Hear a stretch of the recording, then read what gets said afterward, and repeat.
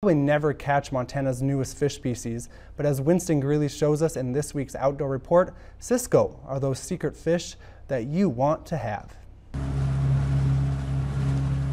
Fort Peck Reservoir produces some big fish, from salmon to lake trout to walleyes.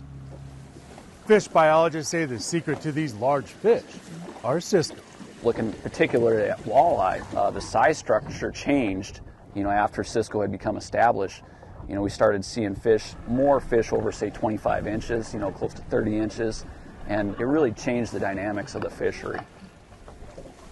Cisco, also known as lake herring, were stocked in Fort Peck in 1984.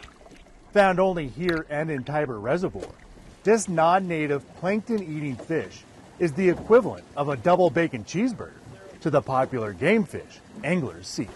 Definitely providing a lot of nutrients out there for those bigger fish, and that's why we see 30-inch walleyes on an annual basis out here in Fort Peck, and big lake trout, big pike, um, and big salmon.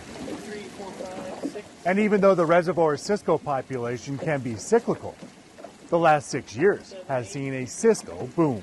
In these last few years, we've seen good reproduction, but really we've seen, you know, our, our pike, our walleye, lake trout, salmon, all those larger predatory species are, you know, kind of at or above long-term averages. So they're they're eating them and uh, they're utilizing them. Six. I'm Winston Greeley, out among Montana's fish, wildlife, and parks.